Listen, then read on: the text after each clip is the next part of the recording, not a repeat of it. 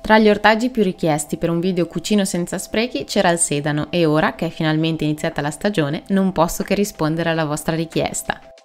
A proposito di stagioni, per chi fosse interessato, è uscito sul mio sito il calendario dei prodotti di stagione, ittici e ortofrutticoli. Vi lascio il link nella descrizione del video e andate a dare un'occhiata. Parlavamo di sedano, un ortaggio da sempre considerato povero, ideale solo per il brodo, ma in realtà ricchissimo di nutrienti e di tantissime altre cose. Prima di iniziare però ricordatevi di iscrivervi al canale e non perdete gli altri video della rubrica Cucino senza sprechi. Il sedano è una pianta spontanea, oggi la varietà che compriamo è, tra virgolette, addomesticata, ma esiste anche quella selvatica. Per via del suo bassissimo apporto calorico è una delle verdure più consumate da chi è a dieta, ma fa bene un po' a tutti. È ricco di fibre, acqua e sostanze benefiche che aiutano la digestione e favoriscono la diuresi. Si può consumare crudo ma anche cotto, sia stufato che cotto al vapore o in forma di zuppe. Ora vi faccio vedere come mondarlo e conservarlo, poi vediamo qualche idea insieme. La cosa più importante che cercherò di trasmettervi sarà che il sedano è un ortaggio praticamente senza sprechi. Le foglie si mangiano come le coste più esterne, non si butta niente. Ovviamente la prima operazione da fare è lavarlo bene, in immersione in acqua oppure sciacquando costa per costa. Si asciuga con un panno pulito e poi si può lavorare.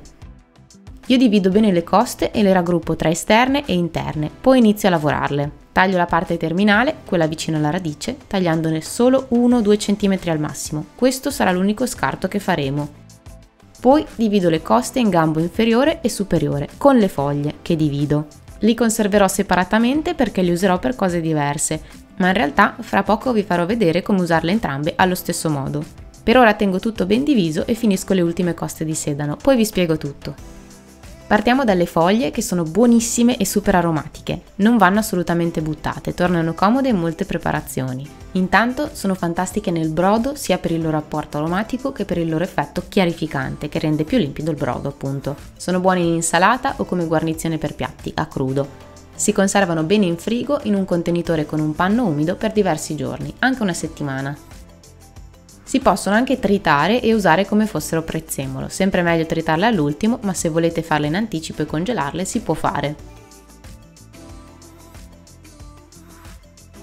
La seconda parte che andiamo a trattare è la parte più sottile della costa, quella che viene spesso buttata perché è verde o vuota internamente. Sicuramente questa non è la parte che vi consiglio per il pinzimonio, ma torna comodissima per triti di sedano, ideali da soffritto, per spadellate di verdure o anche brodo, sia a pezzi che intera. Potete tagliarla e metterla in piccoli contenitori per il freezer, tenere in frigo per 3-4 giorni oppure conservare intera e tagliare al bisogno.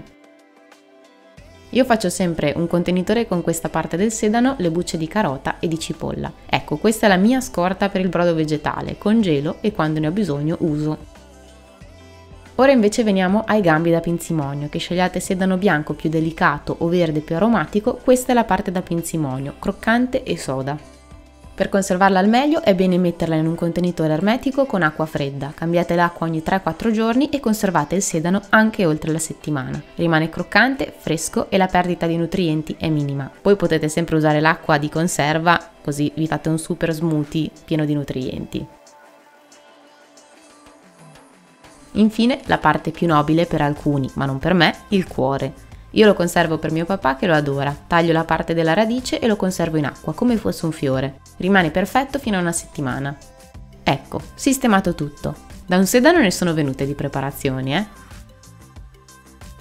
Ora invece vi faccio vedere come usarlo, partendo dalla cosa più semplice, insalata di sedano. Fresca, leggera, saporita, un'insalata perfetta come accompagnamento a un piatto di pasta per completare l'apporto nutrizionale, ma anche come contorno per carne e pesce. Potete anche arricchirla con altre verdure o ingredienti, per esempio fave, avocado, mais e anacardi. Provata l'altro giorno, è buonissima.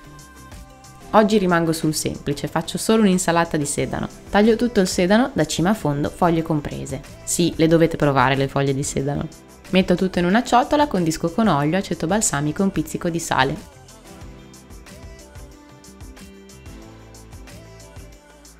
Poi preparo il pinzimonio di sedano. Preparo la salsina, una citronette con olio, sale succo di limone, ma andrebbe benissimo anche vinaigrette, salsa allo yogurt o anche hummus di ceci. Unisco il sedano, gambi e cuore e via in tavola. È anche carino da vedere, no?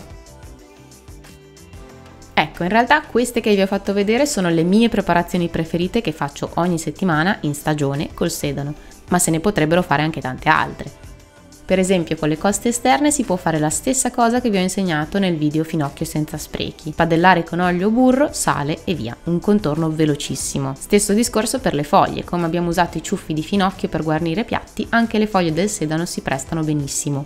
O ancora si può stufare il sedano nello stesso modo in cui ho stufato il porro nel video cucino senza sprechi, oppure gratinarlo o completarlo con un bel tomino. E poi di idee ce ne sarebbero tante altre, ma lascio che siate voi a sperimentare. Sono ovviamente curiosa di vedere cosa preparerete, quindi se vi va scrivetemi qua sotto nei commenti o taggatemi nelle foto che pubblicherete sui social. Ricordate anche l'hashtag cucino senza sprechi e non andate via prima di esservi iscritti, eh! Noi ci vediamo settimana prossima. Ciao!